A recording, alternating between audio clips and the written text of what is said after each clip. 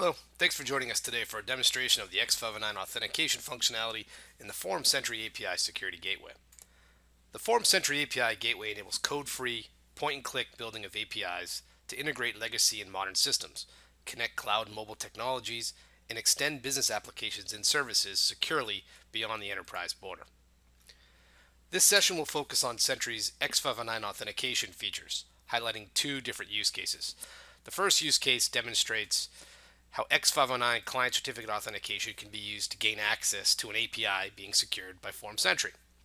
The second use case illustrates using X509 client certificate for secure single sign-on to a cloud service via SAML 2.0 and we'll demonstrate this with Salesforce.com. Some of the advantages of using X509 authentication for APIs and single sign-on include username and password not required. This in itself has many obvious benefits. Certificate validation and revocation. The signed client certs are validated and can easily be revoked.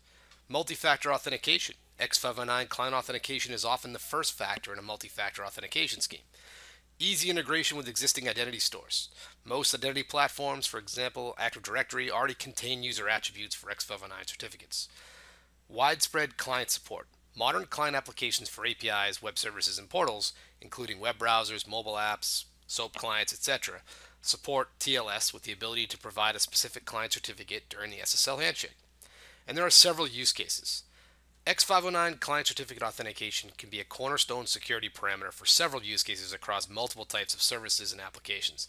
This includes derived PIV, smart card authentication, mobile device and mobile app authentication with single sign-on, authentication and single sign-on for local or cloud-hosted APIs, both SOAP and REST, and enterprise identity federation and single sign-on for web portals. For example, SAML 2.0 single sign-on. So X509 client authentication sounds like a good idea, but why use Forum Sentry for this? Well, there are several important reasons that Forum Sentry should be used for this type of processing. Security. First and foremost, Forum Sentry security pedigree make it the most secure option available for X509 client authentication. This includes everything from the FIPS NDPP certified hardware, the hardened Forum OS that runs on the hardware or virtual appliance, the US DoD certified PKI processing engine with no OpenSSL libraries, and the list goes on and on. Performance.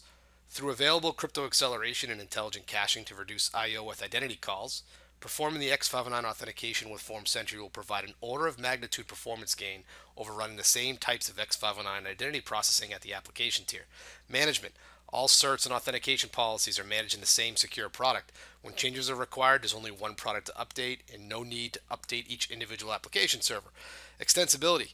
This functionality easily extends to many use cases. For instance, a single X509 client certificate authentication with Sentry can enable a user to access unlimited local or cloud-based APIs, services, web portals through single sign-on technology supported by Sentry such as SAML, OAuth, and OpenID Connect. It's easy and cost-effective. Sentry's no-code interface make implementing these features very fast, without professional services, and without the need for hiring or contracting developers to implement this functionality at the application tier. The Forum Sentry API Security Gateway converges three key functions of technology, security, identity, and integration. The two use cases demonstrated today will pull from each of these categories. For more information on Forum Sentry or a live demonstration of all of these features, please visit www.forumsys.com. Let's now jump to the use case demonstrations. The first use case will demonstrate how an X509 client certificate can be used for authentication to access a cloud-hosted API. Forum Sentry will be acting as a secure reverse proxy, or a gateway, for the API. The API request and response will go through Sentry. Using SOAP Sonar as our API client tool, we'll make a series of API calls through Sentry to the Open Weather Map API. This RESTful weather service provides current weather data in JSON format and requires an app ID to gain access. The first step is the client app making a call for the API into Forum Sentry. Sentry will do the X509 authentication of the provided client cert and then map the X509 to a user account in an external identity store, Active Directory. In addition to mapping the cert to a user with the AD call, Sentry will also collect information, information about the user from AD, specifically an app ID, which will later be used when calling the Weather API. After authentication succeeds, Sentry will generate a cookie for the user to enable single sign-on for this service, and it will map the user information to this cookie. So the app ID pulled from AD will then be tied to that cookie for future use. The client will then make a second call, this time with the cookie generated from the first call. Sentry will validate the cookie to establish who the user is, then extract the app ID from the cookie and inject it into the URL as a query parameter before proxying the call down to the Weather API. The weather service will validate the app ID and return the JSON weather data through Sentry back out to the client. Sentry is essentially acting as a secure reverse proxy for the service. Let's first review the Sentry configuration before we send some traffic through. We start with the HTTPS listener policy. This is the policy that accepts the incoming traffic at the protocol level uh, from the client. Associated to the listener policy is an SSL termination policy. The SSL termination policy is where the X509 client authentication happens. You can specify here a key pair, which is the Sentry server certificate. You can specify a signer group, which is the group of CA and intermediate certificates that are used to do the validation of the client certificate that comes in. That's also where you specify the CRL or certificate revocation checking. And then you can also subject, uh, associate the subject DN of the certificate to a user and then specify an ACL policy, which is an access control list in Sentry. So this is where we are mapping the subject DN of the certificate to a known user in a user store, which in this case is Active Directory. You can also specify the protocols that you want to support on this policy as well as the cipher suites, and Sentry uh, disables many of the known weak or vulnerable ciphers by default. Once the SSL client auth succeeds at the network policy layer, the processing moves to the REST policy that we've defined for the Open Weather Map API. The REST policy ties together the network listener and the remote policy, which are essentially the plumbing to get the traffic in and out of Forum Sentry. It's also where the cookie is generated for the user.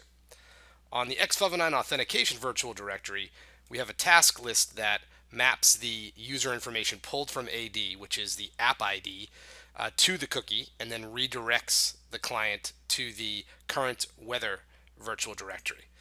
The current weather virtual directory is requiring a cookie authentication. So this now it has to have the FS session cookie, which was set on the authentication call in order to get in. And there's also a task list there that takes information that's mapped to that cookie and applies it to the query parameters uh, of the request going along to the backend system. In this task list, we have a mapping that takes an app ID user attribute, which was coming from the cookie, and maps it to the query parameter of the request. The policy can be invoked using a variety of different testing tools, including a web browser. We're going to use SOAP Sonar as our API uh, testing client for this. The first test case we have is the X509 auth test case, and this is the call to the auth directory which where the X509 authentication will happen. So on this test case, we are specifying a specific client certificate uh, that aligns with the signer group we have enabled on the SSL termination policy in Sentry. So this client certificate will be provided to Sentry. Sentry will validate this against a known group of CA and intermediate certificates, and then it will also map this subject DN to a user in Active Directory. The result will be a 302 redirect with our set cookie header, which is giving us our FS session cookie, which can then be used for authentication into the weather virtual directory. So we can now use this cookie for access to the weather service. We'll click over to the weather test case and looking at the HTTP headers, we can go ahead and paste in the cookie that we just got back from the auth directory. And if we look at the request URI parameters, you can see there's a query for London weather data, but there's no app ID specified here. That is only going to be uh, injected by Sentry. That's not included from the client. So we make a call in we get a 200 back, and this is our JSON weather data being returned from the weather service out through Sentry back to our client application. Sentry injected that app ID into the URI query parameters. I can now use this Sentry FS session cookie to gain access to this service, and all other user information pulled from AD when the cookie was generated is available to the processing engine in Sentry. This is a very powerful feature of Sentry. If we look at these two transactions in the Sentry log, we'll see quite a bit of information. We'll start with the post to the auth directory where the X509 authentication happened and succeeded. We can see the authentication um, happening of the X509 certificate and the successful mapping of the subject DN to a user uh, via the AD lookup. We can see a cookie is being generated and the client being redirected to the weather service. If we look at the second call, we'll see the GET request into the weather virtual directory, first thing to take a look at here is the request URL coming in, and you'll notice there's no app ID there. Sentry validates the session cookie to identify who the user is, and then makes a call out to the backend system, and in doing so, adds that app ID into the URI uh, that the weather service needs to validate the client. And then the weather service returns its 200 OK and its JSON message uh, and Sentry could then optionally process this message as well. So you could do things like data loss prevention, or maybe you convert that JSON to XML, or you invoke lots of other processing options through the Sentry task engine. So that wraps up uh, use case one, and the solution highlights include secure X509 client authentication with certificate pinning to a specific user in Active Directory, enabling single sign-on for multiple APIs from a single PKI authentication, interoperability with, a, with any client or mobile app technology that supports SSL, and removes the need to store API keys on the client applications. For use case 2, we'll do X509 authentication with Sentry behaving as an identity provider, enabling SAML 2.0 single sign-on for Salesforce.com. With this flow, we'll use a web browser as the client, which is simulating an app on our mobile device. We make a call into Sentry with an X509 cert. Sentry validates the cert and then redirects with, with a SAML to log the user into Salesforce. The first step is the client making a call into Sentry with a specific X509 cert. Sentry validates the cert, and like with use case 1, makes an LDAP call to Active Directory to map the cert to a user. This time, Sentry grabs the email address of the user record associated to the X509 cert and stores it with the generated cookie. Sentry then redirects the client to an STS policy in Sentry that consumes the cookie for authentication generates a SAML that includes the email from AD and redirects the client with the SAML to Salesforce.com. Since Salesforce and Sentry have a pre-existing trust relationship, Salesforce validates the SAML and logs the user in based on the email attribute included in the Sentry generated SAML. In the Sentry configuration, we start with a JSON policy that is used to handle the X509 authentication and then redirect to the STS policy. The same HTTPS listener from use case 1 is used, and once the authentication succeeds, a task list is used to redirect to the STS policy with a cookie.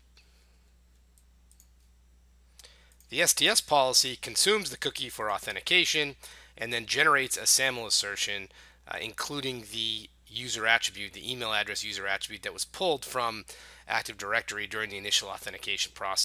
Once the SAML is generated, the user is redirected to Salesforce. Using a browser, we can test this setup.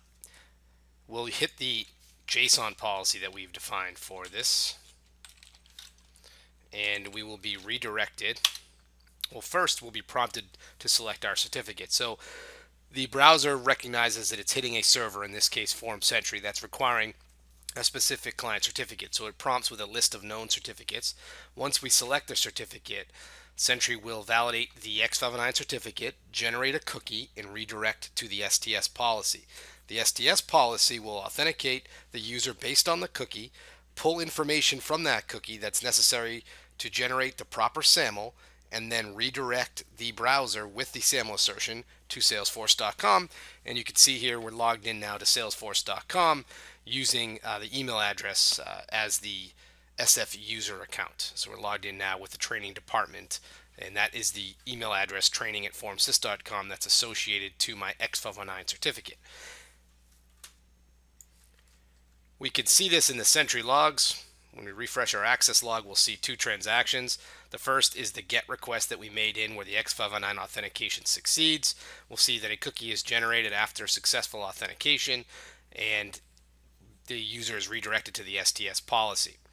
The next call in is to the STS policy, where the cookie is first validated for authentication, and then a SAML assertion is generated. And Sentry will show you the XML SAML, and inside of that XML SAML, you will see the user attribute, the email address that was pulled from Active Directory, and then we'll also show you the encoded response, which is sent back to the browser. And the browser, using again JavaScript and following the SAML 2.0 web browser profile, will then go to salesforce.com and provide the SAML assertion for authentication.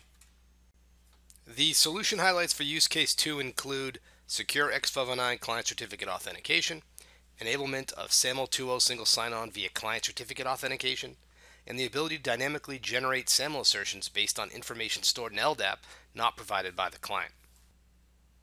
This concludes today's session. If you have any questions, please visit www.forumsys.com. Thank you and have a nice day.